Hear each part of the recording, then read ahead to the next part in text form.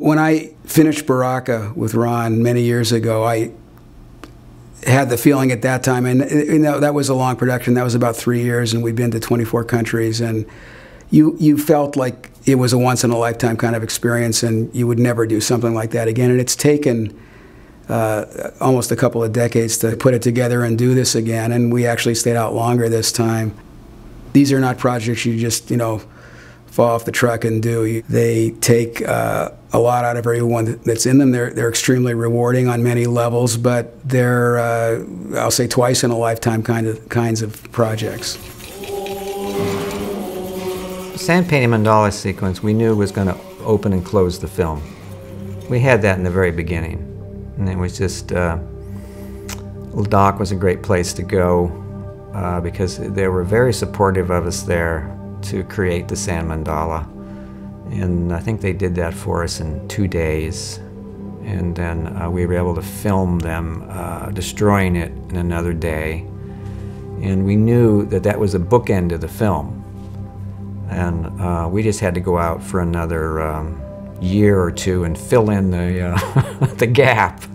The core group was myself and Ron, and um, Miles Connolly was the line producer, and J.C. Earl was the uh, first AC, and he really handled all the equipment or managed all the equipment. You know, when we did Baraka, we had a permanent crew of five people, and you know, the biggest expense when you're making a movie like this is carrying a person around the world to 20 some countries, and you know, the, the hotels and the food and the travel. You know, you want to keep it to a minimum, and so we went down for some of the trips to four. It's definitely never dull when they're when they're traveling. Mark would say, okay, it might be quiet, but I think I was more busy while they were gone than I am when they're actually here because when they're gone, it's always something that's changing. I would get a phone call that flight is changed. They're still going to the country, but they can't go right away. So now they're going to go to somewhere else. So now it's like I have to scramble. I have to get in touch with our travel agents and make sure that all the flights have changed.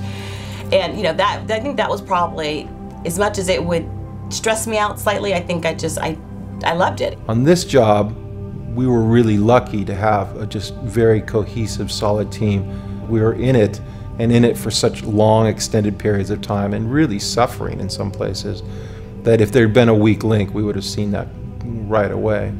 So I feel like, you know, between Mark and Ron and JC, myself, Alex too, uh, it was just the, the right chemistry for what we were trying to do. And I, I honestly can't imagine having done it with any other group of people. Everybody had to multitask. Everybody did a little bit of everything. And so it takes really a, a special kind of person to, to want to take that on uh, and disrupt their personal life in such a way where you're out on the road for so long. And everybody just was terrific. Everyone was wearing different hats. Uh, I was amazed the day that uh, I showed up and Mark Magidson, our producer, had uh, carried like 80 pounds of batteries down from the, the top of a mountain. it became pretty clear early on that uh, my experiences to date were just sort of the, the foundation for what we were getting into on Samsara. And I found not only that I was pushing my limits a lot, but I was really uh, surprising myself quite often with how much further we could take things, how much more we could achieve with what I would have said earlier had been you know, too small a crew and too much equipment. Typically, when you go off to an exotic location, you air freight the equipment as cargo. But the nature of how we set Samsara up was that we would go to a particular continent and then travel from one country to another. The air freight system would take too long, and so we began shipping everything or taking it with us as excess baggage. And we got pretty good at it. I feel like we probably were about as efficient as anybody could be with 70 plus cases. But it was always a, a, a moment, of, like a reality check when we show up at the airport, start calling porters from every direction, rock up to the ticket counter and say, okay, we're here to check in. And they'd look at us and just the, the poor attendants, their eyes would roll. First of all, the camera without anything on it, without even a lens in a magazine, weighs 40 pounds. So we sort of went, most, most filmmaking's going towards like 5Ds and ultra lightweight. And uh, we were holding to this camera that was designed 50 years ago, the basic movement, but it's still the best recording device there is. There's just no beating 65 millimeter film for quality, for resolution, for latitude. And so it was a real privilege for me to be on a project like this at this point in time and to be able to say, you know, we shot everything on film and, and not just film, but the highest quality film. But uh, it also comes with challenges. I mean, the, the film can't be x-rayed. And um, in this post 9/11 world, it's it's hard to move film around around the world. There may be another place to develop it in the world, but we, we weren't willing to accept any other place other than uh, FotoKem. So we were always putting all the extra effort into getting the film into a country safely, getting it out of a country safely, and um, it's challenging because you, you you know there's times when you're you're talking you're talking it around an X-ray machine at an airport, and they're like, sure, sure, no problem. And then they wheel it around the corner, and you, you watch where they're going, and they're heading straight to the X-ray machine. It was a combination of the efforts of uh, Miles Connolly, our able line producer, and his shippers to make sure that that film got back to us. We would uh, process the film. We would then uh, go and do uh, a telecine uh, to evaluate what we had. Uh, sometimes that was with the guys in the field. Uh, most of the time, it was after they came back.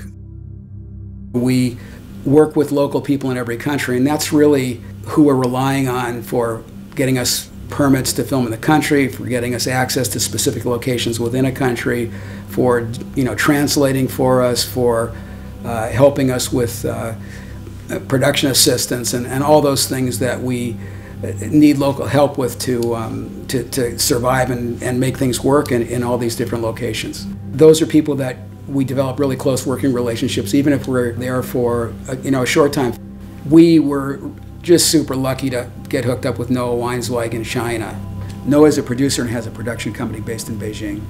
He was just tremendous on this film and really got us access to a lot of locations that we were unable to access in other parts of the world. A lot, a lot of the food processing, for example, we, we were able to film in China. And we weren't able to accomplish that anywhere else.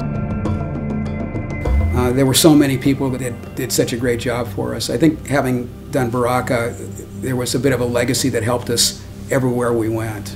I'm not working from my head. I'm working from uh, feeling uh, when we get to a location. That's what's really driving this cinematography. And it life just tells you where to place that camera and how to shoot it. If you trust that inner feeling, it's going to reveal something. But to do that, you can't, to me, I can't think about how to shoot a portrait or how to shoot a landscape or I have to get a, a feeling first about is are we in the right spot or the right time of day.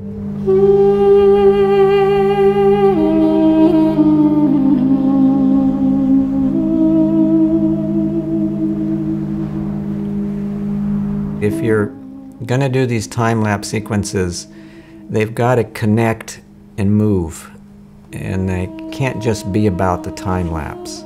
It uh, has to be part of a bigger picture. Sequences like that need to be coming from the day, going into the night, coming out of the night, going back into the day, as part of a cycle. The whole time lapse aspect of it is really daunting. Uh, you go out and you turn the cameras on for six hours, eight hours, 10 hours, and you come back praying to God that you've got something great and not really knowing until you get back home and see it for real. It was also just amazing to me that we could go out in the field for two or three months and come back with eight minutes of footage, 10 minutes of footage. I mean, I shoot eight, 10 minutes of footage before lunch on most of my projects.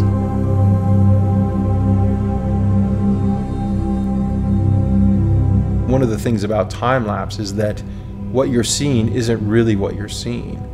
You know, when you're standing there watching the light shift across the treasury in Petra, it's a beautiful location, but it's pretty slow. Again, that's one of those scenarios where you have to trust that Ron and Mark really know what they're doing and that all that time and effort is going to pay off. The nature of time lapse is that it's this magic lens, it's this magic filter that shows you things that you could never see in real life. And so I think that um, early on, when we came back and started looking at dailies, I began to truly understand the potential of time lapse photography and what it could show us about the world. In really good still photography, you are looking at a portrait, but you're also getting a feeling from it about who that person is. And with still photography, there's no words or dialogue. It's it's an image. You get this epiphany from looking at it. So that's the approach that we're doing with these portraits. If they start talking, then your head's going to click in, and you're going to say, "Well, where are they from?" and a little bit about their background, and it's going to come through. This way, you're more tuned into their inner essence. Is what we were trying to bring out. We definitely saw the full spectrum of life on this, you know, human life on this planet from uh, the rural vi villages of Mali and Namibia all the way to La Scala in, in Milan. I mean, that's uh, one of the heights of what I would consider West, Western civilization. Amazing to see humans doing their thing in that environment and humans doing their thing in the Rift Valley of uh, Ethiopia.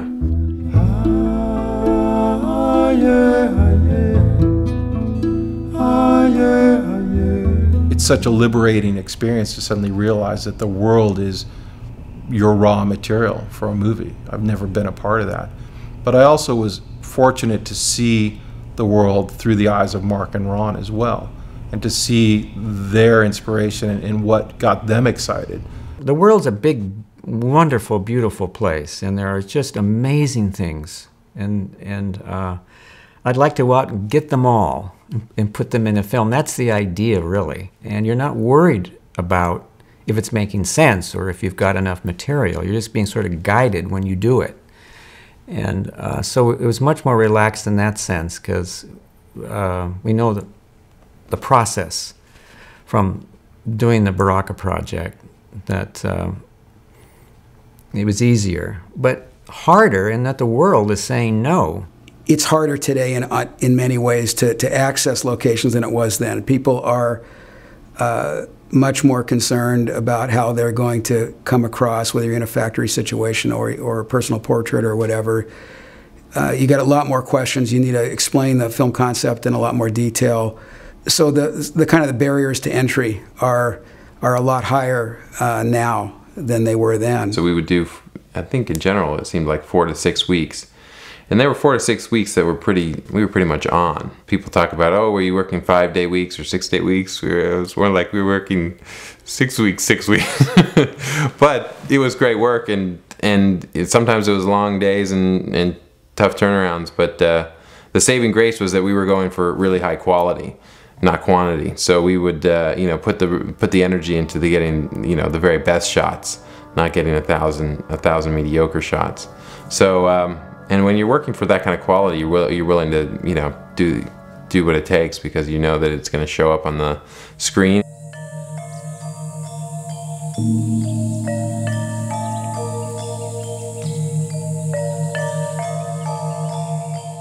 When you do a film like this, you're, you're, you're setting it in, in, in stone and you just want it to be right. I think that's been an approach that we've had where we don't want regrets. You know, you don't want to think about what we might, what it might have been, or what that shot might have been, or what that location might have been. And so you give it everything you got to make it all happen, and that's the process.